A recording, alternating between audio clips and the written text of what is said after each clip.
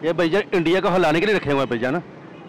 जब हम बजाते हैं ना तो इंडिया जब हिलेगा ही। ये थोड़े नहीं बहुत ज़्यादा है। जब सब हिलाए बजाएँगे ना कि इंडिया हिल जाएगा। अस्सलाम वालेकुम। ये क्या लिया झंडा। क्या लिया? और ये साथ क्या? बाजा। बाजे लाए थे ने जश्न आज़ादी मनाई जा रही है। रेट तो ज़्यादा है लेकिन मैंने सस्ते लगाए हुए मैंने डेढ़ डेढ़ सौ की लगाई हुई है।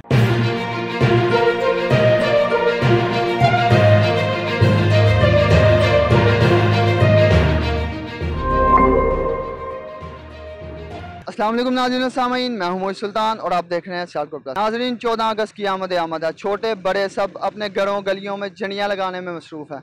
इसी सिलसिले में सियालकोट में सर जगह स्टॉल्स लग चुके हैं। इस वक्त हम मौजूद हैं सियालकोट इलामा इकबाल चौक के सामने। यहाँ पर कुछ स्टॉल्स लगे हुए हैं। आइए हम इन स्टॉल्स के मालकान से बात करते हैं और इनसे जानने की कोशिश करते हैं कि ग्राहकों का क्रेज़ कैसा है इस बारे में। सर कैसे हैं आप? वालेकुम सलाम साहब ठीक ठाक? आप सुनाए ठीक ठाक है? ठीक है अलहमदिल्ला सर हमें ये बताएँ कि ग्राहकों का क्रेज़ कैसा है यहाँ पर? ग्राहकों का रुझान कैसा है? अभी तो कस्टमर का कोई रुझान कोई नहीं है। लॉकडाउन की वजह से आप सब देख सकते हैं। अभी रुझान कोई नहीं। इंशाल्लाह आजकल रुझान हो जाएगा माशाल्लाह। लेकिन अब सेटिंग कर रहे हैं। आगे से देखते हैं क्या बनता है। सर आपने क्या क्या रखा है? कौन कौन सी चीज़ रखी हुई है? माशाल्लाह ये बच्चों का साइज़ ज़ीरो साइज़ से लेके ना बड़ा साइज़ लेडीज़ का भी बड़ा साइज़ रखा हुआ है। छोटों का ये ट्रोजर वगैरह रखा हुआ है झंडे वगैरह रखे हैं। और बाजे वगैरह झंडे वगैरह छोटे हर आइटम रखी हुई है माशाल्लाह। ग्राहक कौन सी चीज़ ज़्यादा लेने आते हैं? कौन सी चीज़ ज़्यादा पसंद करते हैं? बच्चों की। सर ये आपने कश्मीर के झंडे किस मकसद के लिए रखे हैं? कश्मीर हमारे मुसलमान भाई हैं और कश्मीर इंशाल्लाह पाकिस्तान का हिस्सा बनेगा इंशाल्लाह बनेगा ज़रूर। ये योम यकजे के लिए हमने रखे हुए हैं कि सबसे ज़्यादा वो बिक रहे हैं इस टाइम पाकिस्तान के झंडे से ज़्यादा। सर ये इतने ज़्यादा बाजे क्यों रखे हुए हैं आप? ये भैया इंडिया को हिलाने के लिए रखे हुए हैं भैया ना जब हम जाते हैं ना तो इंडिया जब हिलेगा ये थोड़े नहीं बहुत ज़्यादा है। जब सब हिलाए बजाएँगे ना कि इंडिया हिल जाएगा। तो धमाका हुआ। ये ज़्यादा फरोख्त होते हैं आपके। बहुत ज़्यादा भैया ना ये बजा के तो दिखाएँ छोटा तो बड़ा। चलो यही देखो। हाँ जी भाई आवाज़ आई है?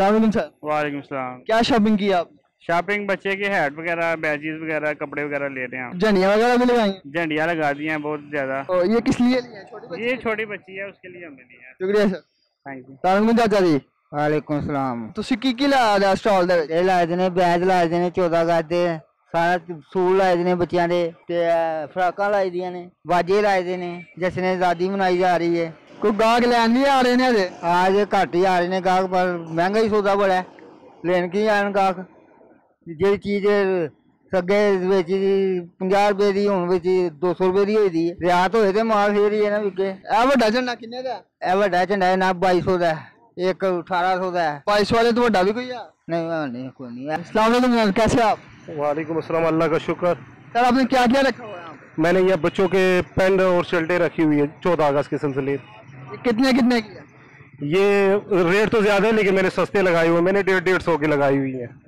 सेल लगाई हुई है जी जी मैंने सेल लगाई हुई है। तो ग्राहकों का रुझान कैसा है इस तरफ़? देखो इंशाल्लाह कल कल कल से इंशाल्लाह उल उम्मीद है कि माल निकलना शुरू हो जाएगा सर कैसे हैं आप? अल्हम्दुलिल्लाह ठीक ठाक। सर आप ये किस लिए लेने आए हैं? ये हम भाई इसलिए ले रहे हैं छोटे भाई बहनों के लिए ले रहे हैं चौदह अगस्त के लिए जो हमारा पाकिस्तान में डे मनाया जाता है खुशी के साथ उस लिए ले रहे हैं। आपने कुछ लिया भी है?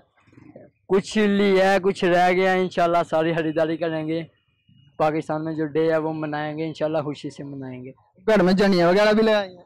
बच्चे लगाते हैं हमने अभी तक नहीं लगाए। आप बच्चे नहीं मैं बच्चा नहीं मैं बड़ा हो गया। अस्सलाम वालेकुम। ये क्या लिया आपने? झंडा। झंडा लिया? और ये साथ क्या? बाजा। सर आपने इनको बाजा ही क्यों लेके दिए? भाई इनका शौक है। इनके इसीलिए बाजे लेके दिया है। अस्सलाम वालेकुम सर कैसे हैं आप? अल्हम्दुलिल्लाह जी वालेकुम सलाम। क्या करने हैं आप? बस शॉपिंग करने आए हैं भाई, चौदह अगस्त के हवाले में। और अभी देख रहा हूँ, परचम ले रहा हूँ, बस बहुत महंग- बता रहे हैं। कोई एक हज़ार, कोई बारह सौ। ऊपर से महँगाई बहुत ज़्यादा है। तो परचम भी ज़रूर लेना है। देखते हैं, इंशाल्लाह, कोई मिल जाए रियात तो ये अभी वो पसंद किया था तो वो उसका बारह सौ रेट बता रहे हैं। कोई एक हज़ार बता रहे हैं।